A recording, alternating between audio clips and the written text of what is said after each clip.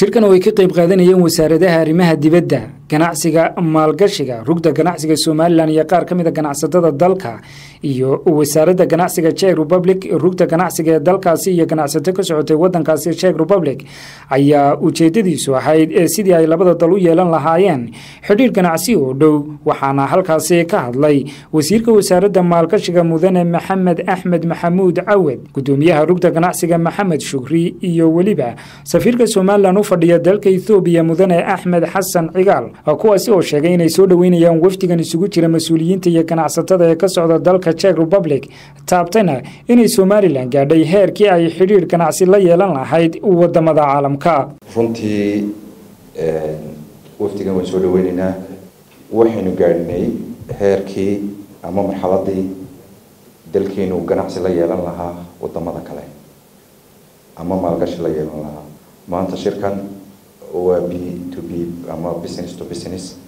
Laba arrimoodba waa way waxaan odhan karaa waa ugu.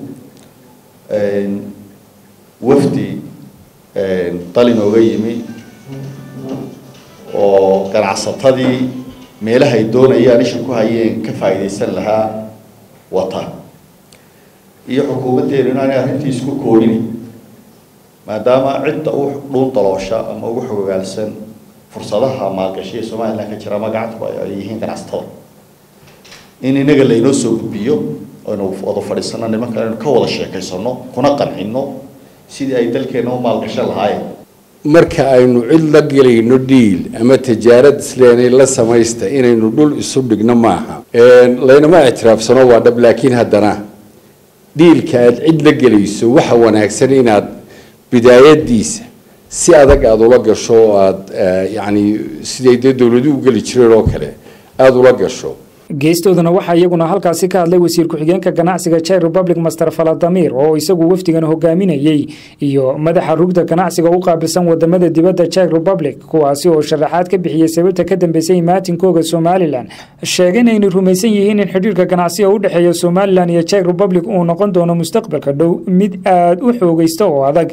Sidoo kalena waxay sheegeen in wakhtigan czech republic uu ka horumaray xagga warshadaha midooda yurubna ay ka mid yihiin waddamada ugu wax soo saarka badan. Wasiirka wasaaradda ganacsiga warshadaha iyo dalxiiska somalilan mudane maxamuud xasan sacad iidle saajin oo isaguna halkaasi ka hadla ayaa si guud u sharaxay ujeeddada iyo sababta ay u yimaadeen dalka wafdigan ka socday waddanka czech republic. Waxaan halkan kula kulannay wafdi ballaadhan oo ka socda dowladda jek republic nimankaas oo iskugu jiray wasaaradda ganacsiga iyo chamber of commerceka. Iyo niman maalqabeen oo business people ah.